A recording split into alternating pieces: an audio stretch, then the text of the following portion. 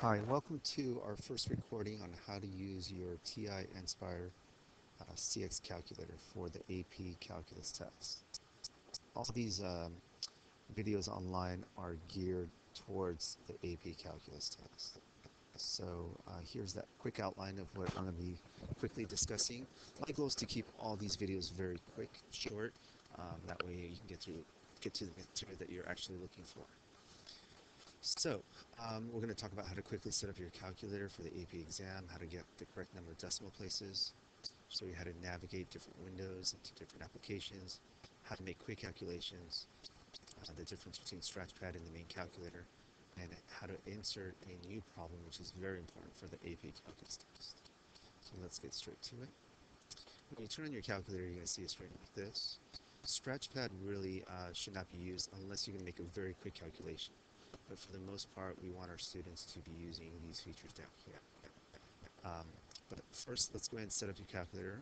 We're only going to do this once, so once you do this, you never have to do this again.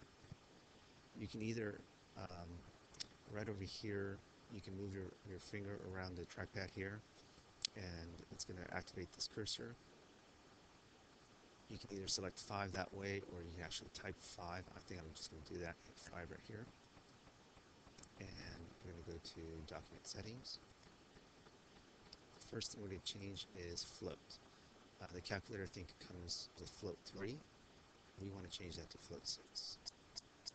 Next, make sure you're in radians. So if you're in degrees, switch that to radians. Everything else is fine. Uh, calculation mode, I like the auto. Um, we'll see what that means in a little bit. And then you want to hit make default. Do not hit OK because if you hit OK, after this session, you're going to lose all that data again. So we're going to make that the default. Yes, okay. And now we never have to do that again. So that's how you set up this portion. Let's set up the graphing right away. So go ahead and click on a graph. And let's see if we can go to menu, option 9. So you can actually hit 9 if you want. and you can see my calculator is already to float 6. Yours might be float 2 or 3. Go and to float 6. Radian and then make default. Okay. So now when we find intersections or roots, we're going to have the correct number of decimal places. So let's say I want to find, um, just want to do a basic calculation. I, I need to open up a new calculator screen. So you're going to go over here. It says, see where it says page? So control, document. I want to add a calculator. You can see I have two tabs now. I can go from one window to the other by either doing control left. That takes me to my graphing window or control right. I can also do control up and that shows all my active windows. So I'm going to select this one. And now I'm going to, um, let's do a basic calculation here. Let's say I want um, the square root of 37. So this was the auto feature I was talking about. It's oh, the calculator always wants to give you the exact answer, so that's the exact answer. Um, but obviously I wanted a decimal answer, so we have two ways of getting a decimal answer. First thing, um, I'm going to show you is actually how to recall this information. I don't want to type this in again, so I'm going to go up, up, enter. It's right there. But I want a decimal answer, so if you look above the enter, the approximation, control enter, and there's my decimal answer. Let's say I knew ahead of time I wanted a decimal answer, so what I like to do is just insert a decimal, and it gives me a decimal answer.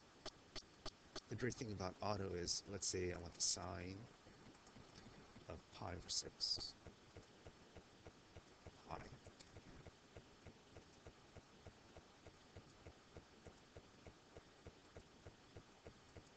So it gives me the exact answer. Pi over 3, so let's highlight that.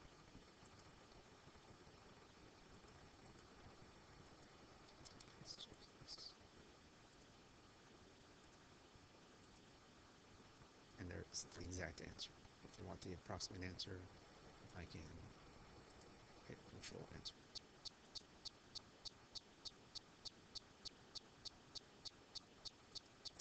Okay, so we've talked about how to set up the calculator, correct decimal places. We talked about how to navigate to different windows. We talked about how to make your calculations. And now the main difference between Scratchpad and the calculator, and that deals with this last one how to insert a problem. So let's say I'm taking my AP Calculus test. I have two free response questions, and I'm done with, with problem number one. I don't want to erase any of this data, and I don't want any of this data to conflict with problem number two. Uh, let's say, for example, uh, I have this ugly decimal right here, and I want to store it into a letter like A. Enter. So now, anytime I need A or that decimal, I just type in A, and there it is. And I'm done with problem one. I'm ready to move on to problem two. I'm going to go to Document, Insert, New Problem, and Calculate. So if you look at the tabs here, it says 1.1, 1.2. That's for problem one. 2.1 is now problem two. If you hit Control Up, see that the pages are separated by problem. And here's the great feature. Let's say I need to use A again, or I want um, to use A for, for an example. It doesn't know what A is. So there's no conflict between problem 1 and problem 2.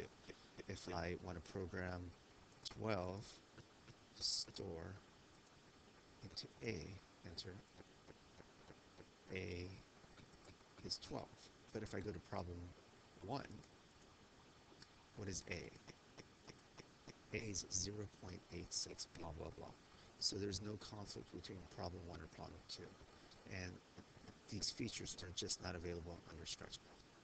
Scratchpad really should not be used for the AP test because you lose tons of features. So that concludes the first video on how to use your TI Nspire for the AP Calculus exam.